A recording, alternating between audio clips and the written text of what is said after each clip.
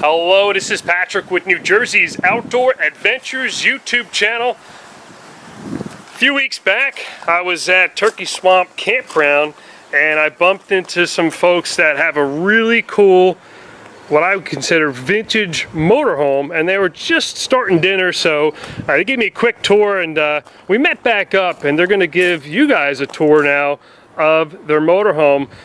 Ken and Stephanie, welcome to New Jersey Outdoor Adventures. Hi Patrick, how you doing? Hi, Patrick. Uh, this is our 1990 Lazy Daze uh, 22 foot uh, rear uh, king size king size bed twin bed combination, and we bought this about a year ago uh, through RV Trader, and we got it from a couple in uh, Pennsylvania that had just moved from Temecula, California.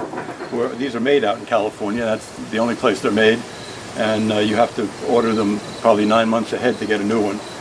Uh, but uh, they were moving out and needed to sell it, so we got it. It only had 34,000 miles on it, and it was in great condition. And uh, I'd like to take you inside and show you.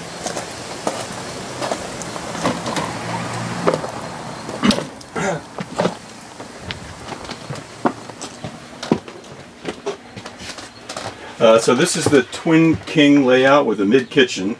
Uh, a, the dinette is in the back here with the that goes down into either two twin beds or a king size bed that you can sleep across. The mid kitchen and there's a cab over a bed up front uh, that probably sleep two small adults or two kids. And in that over cab there's also some storage up there. But uh, the bathroom, we have a full size bathroom and a full bathroom with the toilet uh, RV toilet. It's actually porcelain, and we have a shower inside. Uh, you want the light? And uh, a full, pretty good sized shower. I'm 6'4", and I don't have any problem in it. The sink is in the shower. There's a medicine cabinet over here that, for some storage, and a vent and two LED lights in here. And the, the one good thing too is that the toilet, they thought enough to put the toilet paper roll underneath the sink so that doesn't get wet when you're showering. And it's, it's a, a wand shower uh, head you can use. And actually we tried it, you can actually pull it out the window and, and do it if you want to rinse off outside. We've got a clothes hook up here. And we have one really nice thing on top of the, over the bed there's a hatch, an emergency exit hatch, and it's also great ventilation.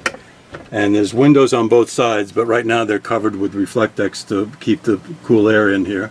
There's a fan on the end, and uh, there's a light up here over the end of the bed, the head of the bed, which is great for reading at night. And you also have a, a light here that you can turn on down the, on the floor. So if you get up in the middle of the night you have a little bit of light without disturbing other people. Uh, there's also a storage box in here at the head of the bed where you can put you know your phones and other stuff books and stuff like that. We have this this oh this this is uh, we just put this blanket up here because it, when you have the air conditioning on there's no not much insulation up in the cab of the truck. So if it's hot it gets really hot up there. So we pull this down and uh, and this really makes a big difference at night holding the cool air in the back here in the camper. You can lift this up and stick your head in there and it's probably about 10 degrees difference. And this chair also swivels around. Uh, so if somebody wants to stay in bed for a while and you can swivel this around have a cup of coffee up here and read a book or whatever. And we have uh, this little counter when you first come in which is really convenient. We have our keys up here. We can place little uh, rack up here for magazines and we keep our phone chargers here. Uh, there's a cabinet above that we keep like cleaning supplies, just quite big, and a cabinet below that just miscellaneous uh, uh tank liquids and uh, emergency lights and fire extinguisher, stuff like that. Down below is a carbon monoxide detector and uh, we have, we're going in here to the refrigerator. The refrigerator is about six and a half cubic feet. It's a dual, uh, dual uh, supply. It's electric and propane. So if you're plugged into electric and for some reason the electric goes out, it switches automatically to propane. Uh, and it's, it's quite quite large. Uh, we have no problem. We've been away as much as five weeks at a time and had no problem storing food. And this is the refrigerator.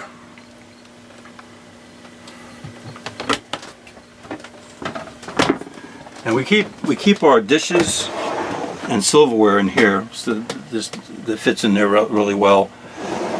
And this is the uh, fuses and the inverter is in, in there. This is our furnace vent, and this up here we keep utensils. Try to keep every. We really want to keep stuff organized as much as possible. Otherwise, you go crazy in a small space. And this is just a junk drawer, tape and different things, batteries and stuff like that and here we, we have our you know wraps and some other utensils and can opener and stuff. And down below is a really large bin to keep I keep my shoes in, and uh, that's pretty big in there. And on the other side, under the stove, is another smaller bin. We keep my wife keeps her shoes. Closet. This is incredible. The size of this closet for this size camper, the double door, and it's got the these little hooks here so that stuff doesn't slide. It just sits in those grooves. And it's, it's really large. And we keep our, our extension for our table and for our bed in here. Just keep a little uh, bungee cord wrapped around that to keep it steady when you're riding. Keep the computer in there. And up front here we got a couple of pictures. This was in 1976 I think. Was our first cross-country trip. We bought a, uh, a tradesman Dodge Tradesman van and I built out the inside. And we traveled across the country for six weeks. And uh, inside you can see that box there. That's that's a porta potty in there and it also serves as a seat with the cushion on top. There's a cabinet. There's another smaller cabinet. uh, you can see in here uh, we keep our food there there's an ice box there was a Coleman stand-up ice box that actually kept stuff cold for like three days if you didn't open it too much and the bed was back here uh, and the end of the bed lifted up to give an extension because I'm 6'4". So, and it was all storage underneath the bed. Had a, a louver windows, so we could with screens I put in so we could uh, get some air at night. Because uh, yeah, that was, uh, and uh, so this was, yeah, we had the roof rack up there. Well, actually, we did carry stuff up there for a while, but then it got very wet. so we started just loading it inside the camper. This is our uh, Dometic air conditioner. I think it's about uh, 1350 BTUs and it really keeps it very, this is the original and it's still keeping it very cool in here. And it, it has a heat strip too, but the heat strip kind of went. And the kitchen, we have a double sink, double stainless steel sink with a pull-out faucet that we just replaced replaced the old one. And uh, the uh, paper towel rack is a ratcheting paper towel rack because if you're traveling, you'll find that the paper towels unroll when you're on the road. So this has a little friction in it and it doesn't unroll. And this is, this is just uh, like a vinyl, uh, I don't even know what you call it. They're not real tiles, but they look really nice. They clean it up nice. And we got this little bamboo, bamboo uh, spice rack there's also an extension on the counter if you need just a little bit more space. And we have the, the counters are fiberglass. These are original. And we've got some small drawers here that we use for some more spices and, uh, you know, our light stick, lighting stick, and trash bags. And then we have some, some storage underneath here where we have canned goods and pots and cleaning supplies underneath. Uh, it's quite a lot of space in there really. Uh, and above, oh, the windows open. Uh, these in the kitchen so you can be here and you can look out at the scenery while you're cooking or washing the dishes. And uh, we have, here's the Lazy Daze where you can check your, the gauge to check your tanks and your, uh, your battery and propane. And also your water pump goes on there and your water heater is here. And uh, that's original. And the cabinet space, again, up here is quite large too. It goes back further in there. And we, we don't have any problem keeping enough food in here. Original original stove, Wedgewood stove. It's got four burners. They all work. And it's got gas oven that works as well. We've used it. We don't use an oven a lot, but we have used it a few times. The vent hood with the vent light still works. It's a little dim, but works. And the vent fan works. And we've got a small microwave, Kenmore microwave, that works very well for heating coffee and just little, little some food things. And this little nice little touch here is a, a glass divider just to keep, to keep the heat off of somebody sitting here and just adds a nice little touch. And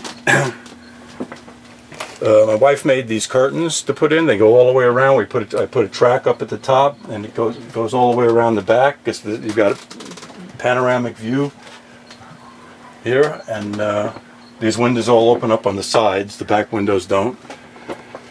And we have storage where we keep our bedding. We keep there's two bins here, and we keep the bedding in there. Uh, we've got outlet up here, and there's a, a 12 volt outlet, and this is the for the uh, cable. Uh, and my wife keeps her clothes up in here, and we have three bins. She has three bins and pouch, and that's where her clothes are. And then on the other side, my clothes. Plenty of space for clothes. We can even use a little. I could probably put another bin on top if I needed to. And we've got this original fan that works very well. It really helps cool the, the whole back here. And it, also oscillates. And the uh, we have our thermostat right here. It regulates the heat for the furnace. Uh, oh, the bed. The bed. The, the beds can be. You can go up. I'm sorry. you can do a twin bed by lifting these, and the legs come down. the legs come down and you can move the mattresses over and to make and take this down to make two twin beds or the table this table comes down um, the leg lifts up this leg lifts up and the table rests on two tracks rests on these and then the, the two panels that I showed you in the closet before go in there the mattresses pull down and it makes a king size bed that you can sleep across you could actually get three people on it if it's big enough. And uh, there's a vent, we have two vents. These are just manual vents that help quite a bit with the airflow. Uh, now this one's closed in. We use these these pillows, which help a lot keep the, to help keep the camper cool in the uh, summer and warmer in the winter. They reflect the sun in the summer if you use the reflective side up because you get a lot of heat coming in through through these if you just leave them open. And we also put Reflectix around the windows on the sides uh, if it's really hot out, just to keep the camper cooler. Uh, there's more storage back here, where this is where our DVD player and the power strip up there. And then over here we just keep some paperwork and a tablet and games our TV, uh, which we sometimes use cable if there's cable available. And we also have a window antenna that we can put in. And some places we've gotten up to 40 stations with that, but that just depends on how close you are to uh, the towers. Uh, now the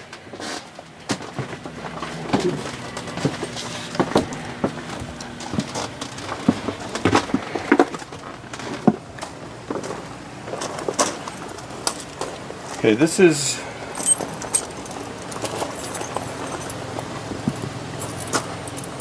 Oh, the outside of the camper uh, is all aluminum and painted. So there's no delamination, delaminating where the, the outside comes apart from the from the inside wall. Uh, this is the batteries. There's two. These are what uh, I guess you call them wet cell batteries. Two 12 volt that's what powers the coach. And then we've got we've got a storage compartment under here where if we had a generator, that's where it would go. Uh, we store our uh, leveling blocks there. And this is the uh, this is the furnace. And this is the back of the refrigerator where we have an outlet too that you could use for outside if you needed it to plug something in if you had a TV or something. We have a, a porch light up on top. It's yellow, keeps away the mosquitoes. And uh, the, we have a double lock. There's a bolt lock and a regular handle lock, which is very secure. And the doors are very solid.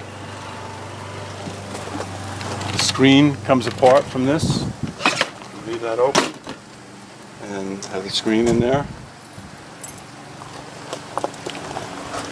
pull down awning, it's manual, and that comes out about eight or nine feet and gives you a lot of shade. The uh, the rods from the, the from the uh, canopy come down and lock into this on either end. Uh, and we come down here we have more storage.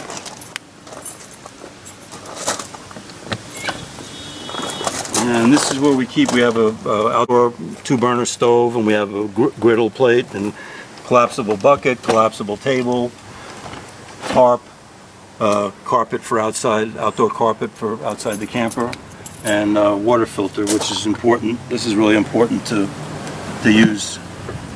So you have fresh, clean water. And then here's our propane tank. Uh, I don't remember how many gallons this is, maybe 10. Plus it's got wheel covers, this is unusual too. This has got some like wheel covers that this, these flip up if you need to change a tire or something. But it just adds a little flare to the side there. The, uh, we replaced the, the running lights up on top and the side and the backup lights and signal lights with LED lights, uh, which is like 20 times brighter than they were before. And uh, there's, there's an aluminum ladder up to the roof if you need to get up there to fix something or do something.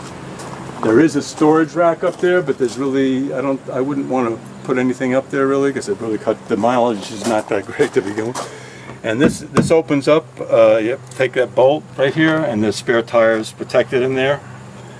And uh, there's a hitch over here and underneath there's a, there's a connection for uh, to, to tow something with. You can have the lights on the tow, the, the tow vehicle. And license plate light that was replaced. Along here is another storage bin. They're not real tall, but they, they are pretty big. And we keep several bins with electrical supply, electrical cords and just miscellaneous like propane tanks for the, for the stove or uh, hoses for the tanks and we keep a couple of chairs in here and a, it's always good to have a have a shovel if you need to level the camper and this is where the, hose used to be uh, they would store in here but there's nothing behind here right now look on plan on putting a PVC pipe in there to put the hoses in gas refill this is the 110 volt cable Oh, and this this just uh, pushes right back in, and there's a box inside that it uh, that it goes into. You just push it in and pull it out when you need it. This is city water. Uh, if you want to hook your camper up to have the water just coming in like you do at home, you can hook it up to that. We usually fill the tank and just run off the tank. And this is where you fill the fresh water in the tank. You use a freshwater hose, uh, which is different than a regular garden hose. It's a, uh, food grade hose and you just fill up the tank. The, the tanks I didn't mention, but the tanks are the, the freshwater tank is a 50 gallon tank, and the uh, holding tank for gray water is 25 and black water is 25. So it's, it's fairly big, and we can go probably a week. Uh, and there's a vent a vent out here for the the, the vent the uh, the stove actually vents out outside. It's not a recirculating vent and the, the, the tank, the uh, gray water tank comes out over here. You pull that valve, you open this up, connect your hose, put it into the, uh, the disposal tank, and open up the valve. and uh, then release all the tank, close it up, close everything back up again. Same thing, this is the black water tank, which you do the same thing, but you usually do this first. Do this one first, and then do the gray water second so that it cleans out your hose. And this is where the uh, cable TV hooks up right here. If you're in a campground that might have table, cable TV, you can do that.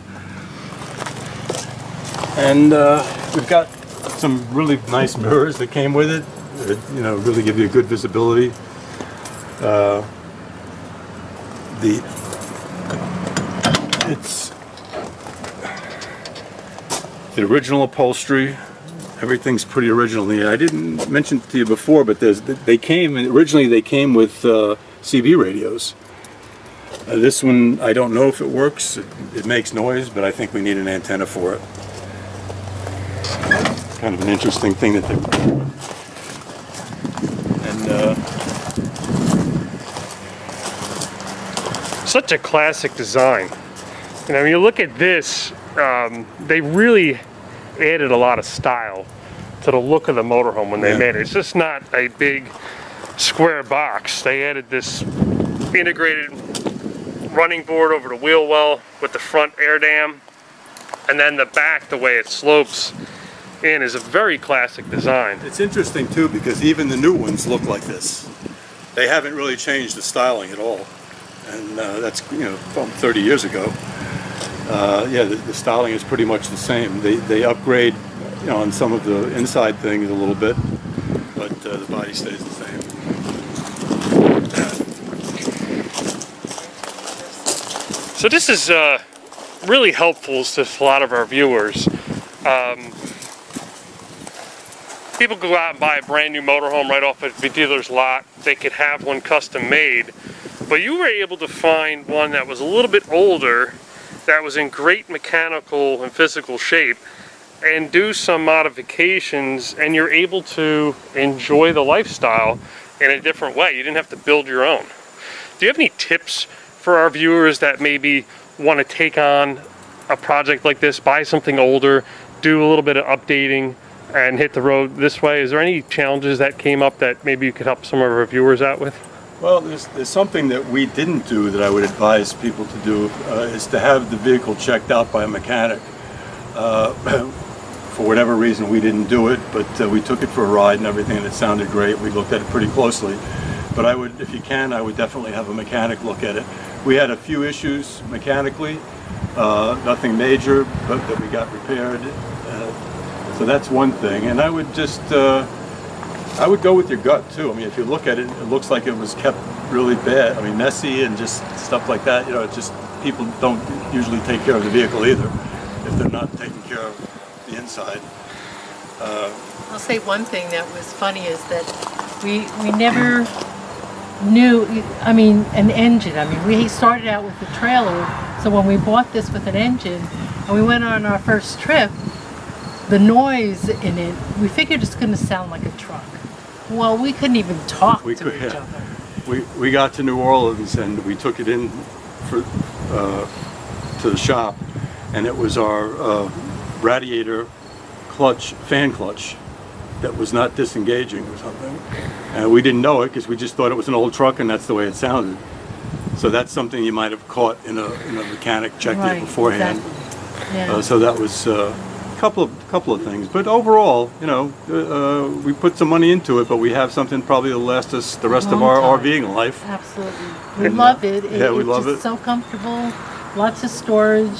We- the body is well made. We- it's just Yeah, like that, and that's something I want to point out here to the viewers because most motorhomes are not built like this. They're not built with aluminum cladding. So, you know, the biggest uh, Achilles heel on all these Class C motorhomes is this overhead cab area will start to sag over time and it causes the body to buckle here or crack and it allows delamination. Once you get water behind the fiberglass motorhomes, there's only Luan board behind there and some strips of wood. So, you know, if you're going to buy an older Class C style motorhome and it's not made from aluminum like this one, these are this whole cab area is the area that you want to inspect for rot. Right, right. You want to check for any cracks, like you said, or sagging. Also, I, I didn't mention it when we were inside, but there, uh, there's metal framing in there. There's like steel frame in the camper. So it's not staples with Luan with fiberglass, it's structure. Yeah, it's structure. Another area, just for tips for our viewers to check for delamination and bubbles, would be anywhere underneath a window, a refrigerator vent, a cooktop vent, underneath the back windows. Those are areas that will start to bubble out. So when you look down the profile of a fiberglass motorhome, if you see bubbling and you can stick your hand in and, and it flexes, that would be delamination. I'm glad that you don't have to worry about it on this. No. What's the roof made out of? It's aluminum. It's a solid piece of aluminum. The only seam is the one along the, where it meets the wall, and that where that cap covers. That's the only seam. Now, on uh, what we would call a vintage motorhome like this, is it hard to get RV insurance for it? Uh, no, we had no problem at all. We have New Jersey manufacturers, and we just called them up and told them what it was, and uh, they, I think they asked us for like approximate value or something, uh, and uh, we got the insurance right away. I, I, I know people have a problem when they build out something like a van or something like that, but I don't think you'd have a problem if it's if, if it's. I think there's some kind of rating, RV rating or something that it's that it's. Uh, Yeah, these RVIA codes here, if it's built by an RV manufacturer, and we'll have one of these seals here, and that way you can get RV insurance, you get an RV loan, yeah. and you can get accepted to some campgrounds. So that's important to know that. Uh, one other thing that has come up a lot in Facebook groups, uh, I'm a member of the RV Atlas. It's a very popular Facebook group for RVing. Uh, one of my friends and his wife started the group. They're authors of many books. Is uh, allowing and accepting older motorhomes into campgrounds.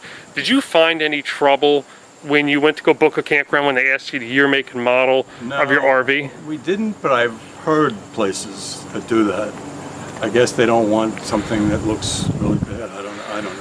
Yeah. It's a campground. and I guess they can't discriminate if it's Yeah. old. If it's too old, it's too old. You know, this is an older motorhome, but in my eyes, it's beautiful. My old motorhome is too old for some campgrounds, and that's a 1997. Uh, is it just the age that they're looking at? Or It's the age they they don't want something that has a tarp over the roof that it was leaking or to the point where it, it's an eyesore, I guess, for Your- neighbors. your- Yours is beautiful. Well, thank you. But if it's too old for certain places, it's it's too old. They can't say, well, this one looks nice. We'll let you in. They're not expecting. So it is something to think about. I, I hear it more and more. I haven't had it happen to me personally, and I'm glad it hasn't happened to you. But I guess if you go to some of the resort type campgrounds, it might become a problem. So it is something to think about when doing an older motorhome like this. Something else too that I thought about too is when you're shopping, when you're looking for a motorhome, there's no perfect motorhome or trailer or Class C, Class A, Class B. They all have pluses and minuses. We would have preferred a full-time bed, uh, but because this is a 22 foot, we that took precedence over the bed. We wanted something that we could park fairly easily, uh, so we went with the convertible dinette. Uh, but again, you have to find what, what you need the most and what, what's most important to you. But don't try to, there's no, there is no perfect. It's a little bit of compromise. Yeah, definitely which whatever. Well, Ken and Stephanie, thank you very much for taking the time today to give our audience a tour of your motorhome. And there's some great information that you shared with us too that will help our viewers understand a little bit more about buying an older motorhome. Well, this is Patrick with New Jersey's Outdoor Adventures YouTube channel. I hope you enjoyed this video. Please like this video, comment, share, subscribe. I'd love it. And we'll see you soon.